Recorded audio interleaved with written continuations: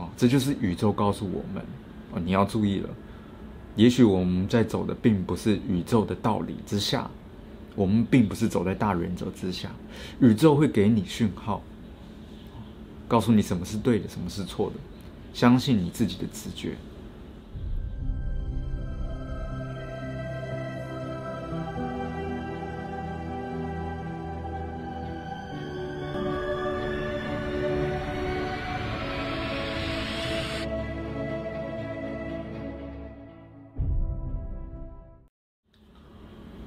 呃，为什么呃自律神经失调、恐慌症跟焦虑症好的那么慢？所以这个问题，我之前跟我的客户多少都聊到哦。那 Peter 观察到蛮多人的这个共通点，因为 Peter 再次强调，这个病哦，他在我们发作第一次发作之前，其实就有征兆了。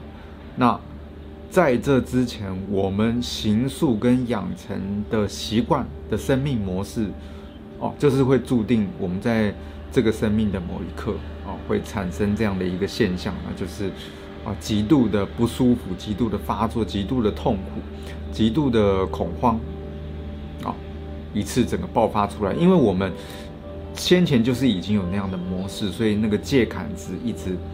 啊，渐渐的建立、建立、建立，build up、build up、build up，啊，到一个点之后，啊，就像气球啊，丢到一个点之后，它就是整个爆这样子爆出来。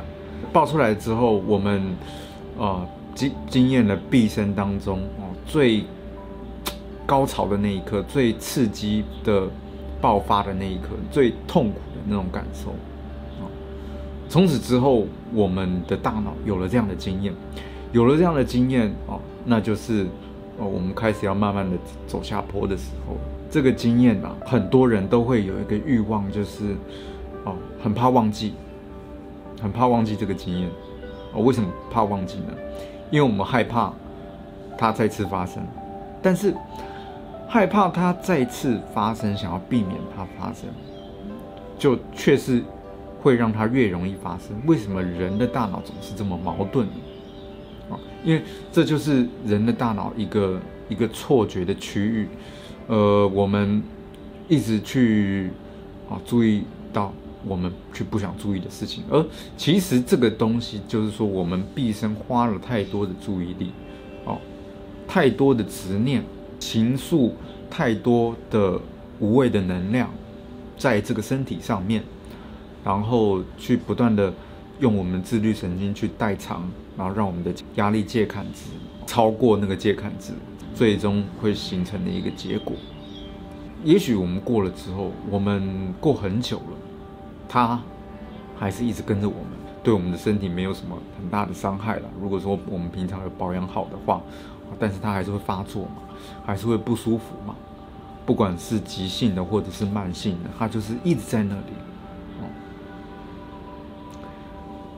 现在我们认识他了，以前他也一直都在，只是我们不知道他是谁，我们不知道他跟着我们，不知道他如何在一旁安静的陪伴我们，帮助我们在真正危险的时候存活下去。我们没有觉察到，现在觉察到了，我们又不想要他，这怎么可以呢？他是我们最好的朋友，而且这个朋友。经年累月，你会跟他相处的越来越融洽。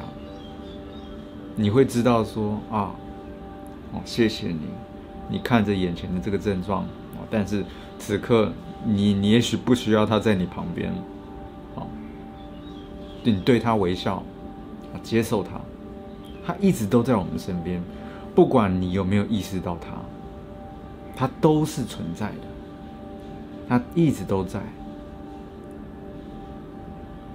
感谢他一直这样子陪伴着我们，而最终我们要恢复的是，我们去面对生命当中每一个人事物的时候，是否都是用执念去 push push，是否都是用执念去啊决定我们要往哪个方向走，还是我们就是像行云流水一般顺水推舟的？活在爱的状态，用爱活在每一分每一秒，哦，就让水往低处流的一个非常自然的祥和的状态。还是我们今天一起床，也许我们不再在乎我们的症状了，或者是心情了，反正有事情要做嘛。但是我们眼前做的这些事情，对这些事情又有过度的期望。那依然我们在精神层面没有恢复，它仍然是会给我们这些痛苦的感受。啊，这就是宇宙告诉我们，啊，你要注意了。也许我们在走的并不是宇宙的道理之下，我们并不是走在大原则之下。宇宙会给你讯号，告诉你什么是对的，什么是错的。相信你自己的直觉。我们人啊，都有个欲望，那就是我们。要有一个，要有个敌人的存在。这个敌人不管是自己，还是别人，还是国家，还是政治上面的政党，我们我们都跳脱不了这个。因为也许我们有敌人的存在，才感受到我的价值。那这个我的价值啊，何必呢？你消耗了过过多的能量，无谓的能量，去。浪费你的生命。当然，如果说你这是你的工作，那是另当别论啊。因为把这个当做工作的人，在精神层面已经意识到，这只不过就是个游戏啊。底层的人啊，才是愚蠢的人，演戏的人跟看戏的人的差别而已。关键是我们要从一个一直想要捡起，把这个负能量捡起啊，惯性的捡起、捡起的人。隔一段时间他没有来，又想要哦去找他回味一下；隔一段时间没有来，又去找这个感觉回味一下。当然就焦虑的感觉、恐慌的感觉。我们意识的状态要如何转化成我们真的就是放下这一切，去往我们真心想要抵达的方向去行走。不断的去提醒自己，我放掉这一切，放下我的身体，放下我的心情，啊，放下，放下，啊，你会像没有重量一样的行走在这个地球上，你会像一个仙仙子一样，没有重量的，像羽毛一样。如此的轻松，因为你知道此刻没有什么需要改变的事情，因为所有的这个能量运行的方式会照着它本有的方式去平衡一切。你愿不愿意放下你想要抓住这个焦虑的执念？你愿不愿意？如果你真的愿意了，你准备好了，你一定做得到。